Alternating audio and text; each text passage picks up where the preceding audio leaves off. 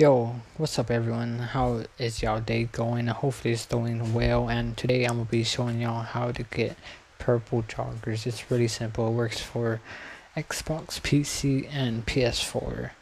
Just give this video a thumbs up, subscribe if you're new. So let's get right on to it. So basically it's a solo. You could do it with a random or a friend. It doesn't matter. Don't matter. So basically all you want to go to the online jobs Rockstar created. So you go to missions and you look for versus versus. After you click versus, go to truck off. Look for the mission that says versus, then go to truck off. So you could either do this mission with a random or your friend. It doesn't matter who you do it with. It's super simple. So after you click it, you just start it up, let it load, and you're gonna load into the game, the mission. While I'm loading into it right now. So basically, um, so on this part, put the clothing on themed. Have it on themed so you could get the purple joggers.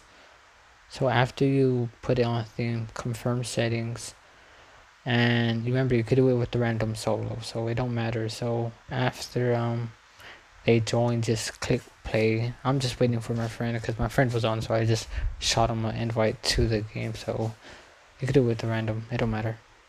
So on this part, all you want to do is put um on the versus outfit, you're gonna want to have it on insects, on insects. So if you want the purple joggers, go to the team where I'm at. So you go to toxic pest. If you want the orange joggers, go to the other side. But you're getting purple, so go to toxic pest. So after you're on the purple joggers on toxic pest, you basically just want to start it up the way I did it. So after that, basically you, the purple jogger person, all you want to do is open the interaction menu once you start up the job, go to illuminated clothing.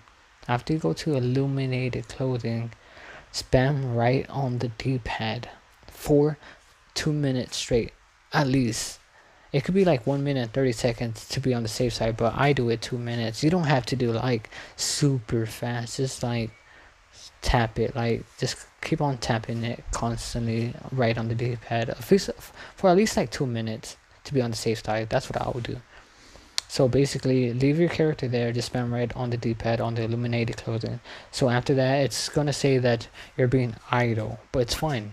After you're being idle you're gonna be kicked from the session. That's what we want that to happen for you.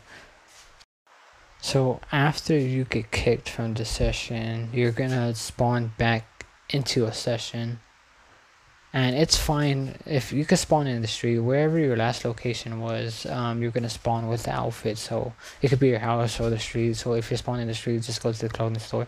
If you spawn at your house just go to the you're basically where you change your outfits. And basically the way I did it I spawned at my house. So I'm spawning inside of my house. You see how I have the purple joggers on?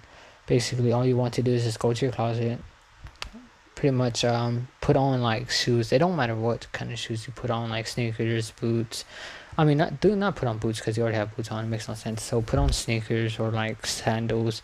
You see how there's no ankles. Basically, after you change the shoes, basically just save the outfit, and it's all yours. You have purple joggers. With this outfit, you could change the t-shirt, you could change the shoes, you could change the mask, you could um, put accessories on like necklaces, gloves, anything. Now we have purple joggers. Don't forget to give this video a thumbs up. Subscribe if you're new. I'll be posting content like this every single day. Join the crew. Special giveaway at a thousand subs. So tell your friends, tell your daddy, tell your grandpa, tell your everyone you know to hit that subscribe button. and um also catch on the next video. Peace.